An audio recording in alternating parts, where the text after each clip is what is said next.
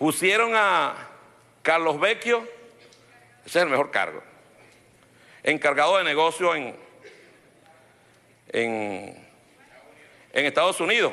Es bueno porque él tiene años haciendo negocio allá, ¿ven? Sí, él sabe de eso. Carlos Vecchio era el representante legal de la Exxon en Venezuela.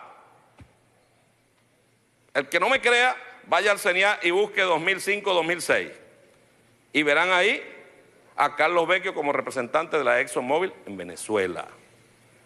Tiene años haciendo negocio y lo que pusieron es para hacer negocios, no es para el bienestar de los venezolanos, ni las venezolanas, ni preocupación del pueblo. ¿Qué carajo va a querer Mike Pompeo los venezolanos? ¿Tiene primos aquí? ¿Tiene hermanos, familia? No.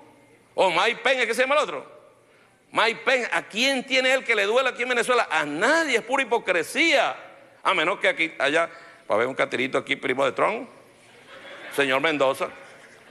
Si es familia Mendoza, no, tiene algo Catire tiene por ahí. ¿Ah?